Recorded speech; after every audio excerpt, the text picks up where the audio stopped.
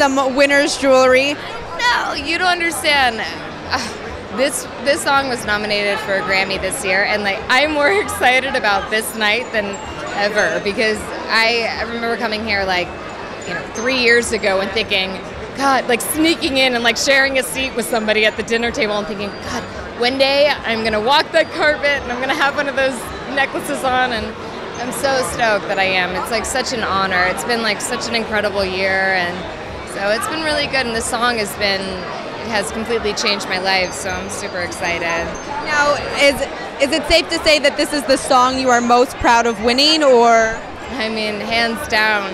I think you know, especially for what the song has done, and you know how people react to it, and it's inspired. You know, it's inspired people, and it came from a little heartbreak. I had my heart broken, and um, and I wrote this song like the next day after I found out my boyfriend was cheating on me, and I was like, you know what?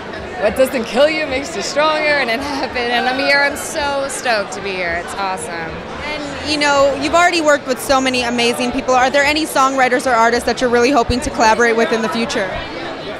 I have this. I've built up this whole thing about Max Martin, and I like it's been going on since I was 12. Like just since he like was working with Pink and everybody and and um, my boyfriend um, is in Maroon Five, and he works with Max, and and so I'm like, hey, you know, he's like, hey, come by Conway, Conway, and hang out. Max is here, and I'm like, okay, I'm like, this might be my chance. Like, and I've worked with tons of producers, but it's just him. It's like the idea of working with him.